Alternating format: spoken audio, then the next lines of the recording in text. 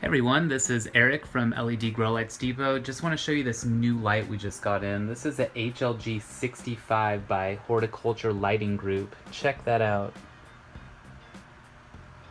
This is only $99. So great price considering the wattage and efficiency. So this is only 65 watts and it's designed to replace a uh, 100 watts of T5 or 150 watts of CFL. Uh, you can see on the bottom there, there are 120 top bin Samsung 561C S6 diodes. So the S6 bin is the latest, most efficient bin. These are top of the line diodes, actually the most efficient uh, diodes on the market at this time coming in at 2.4 micromoles per joule. Um, this light is designed to cover a 2 by 2 area for veg or a 2 by 1 area for flower. So it only puts out 156 micromoles per second, which is actually a lot considering the size and wattage draw of this light. Uh, the spectrum is 4000K, so anything from about 3000K to 4000K you can use for a full cycle grow. Uh, 4000K is the top of the range there, so there's a little bit more blue than say a 3500 or obviously a 3000K.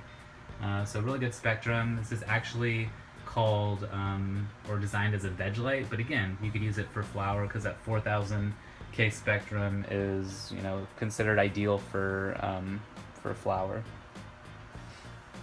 Um, just a few other specs here. Draws 100, or excuse me, uh, the efficiency is 161 lumens per watt for anyone that still likes to uh, talk in lumens, but again, when we talk in LED grow lights, uh, we like to use the power efficacy, which again is 2.4 micromoles per joule. So as you can see, this unit is passively cooled. There's just this thin board here and this driver on top, which by the way is a Meanwell driver. IP67 and rated for 100 to 240 volts. And you can see that it runs from the wall and plugs in right here on the side. So this is really cool. This is plug and play. So no wiring involved. Um, you know, when you buy this light, you just get the driver and obviously this cord that's connected to it, the board, and the hangers. There's only three pieces. So you can plug that in right there, plug it in the wall, and you're ready to go. Also, if you're running several of these, you can buy a separate uh, Y splitter, which will, you know, split this so you can run into two lights. And there's another uh, plug-in right there. So it's pretty convenient. Uh, I just want to note that I've had this light on for like 15 or 20 minutes or so, and it feels a little bit warm. I mean, I could probably keep my hand on it for a while. Um, it gets, you know, I'd say a little hot. Um, I wouldn't want to keep my hand on here for a long time. Um, but, you know, it's uh, fairly cool for, you know, drawing 65 watts.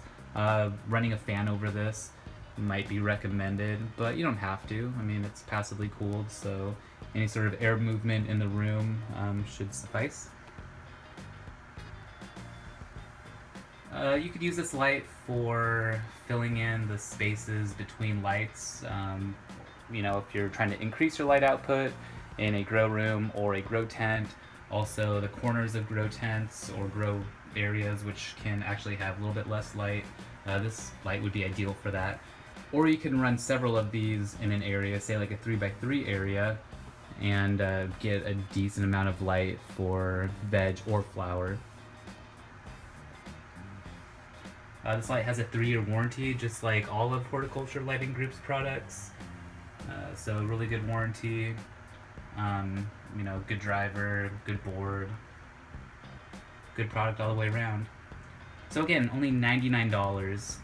Uh, if you're interested in buying this light, you can click the link in the description and buy it right there. If you have any questions or want to know more about this light, you can email me directly at info at ledgrowlightsdepot.com.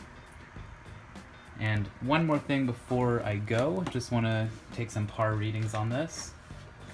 So right now, the plants are at about 18 inches. So I'll put that right there. It's about 18 inches.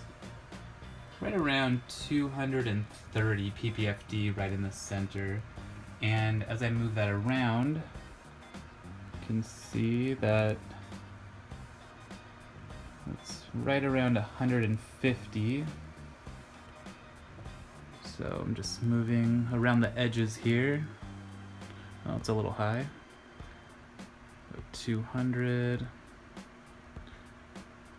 And then way out here, yeah, about 100. That's not bad actually, considering I'm probably a foot outside the light.